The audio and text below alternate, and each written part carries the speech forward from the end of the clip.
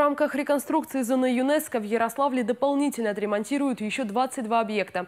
В ходе масштабной стройки в областном центре удалось сэкономить 60 миллионов рублей. Об этом сегодня рассказал заместитель председателя правительства Ярославской области Виталий Ткаченко. Напомню, деньги на ремонт центра города выделили из бюджета столицы после встречи главы региона Дмитрия Миронова и мэра Москвы Сергея Собянина. Первые результаты уже есть. Завершены многие пешеходные дорожки, а также ограда памятника культурного наследия «Дом губернатора». С учетом всех изменений всего отремонтируют 72 объекта. Всего на ремонт зоны ЮНЕСКО в Ярославле было выделено 600 миллионов рублей. Мы должны работу закончить не позднее там, 20 сентября, поэтому мы работаем по нашему внутреннему графику и пока идем по нему укладываемся.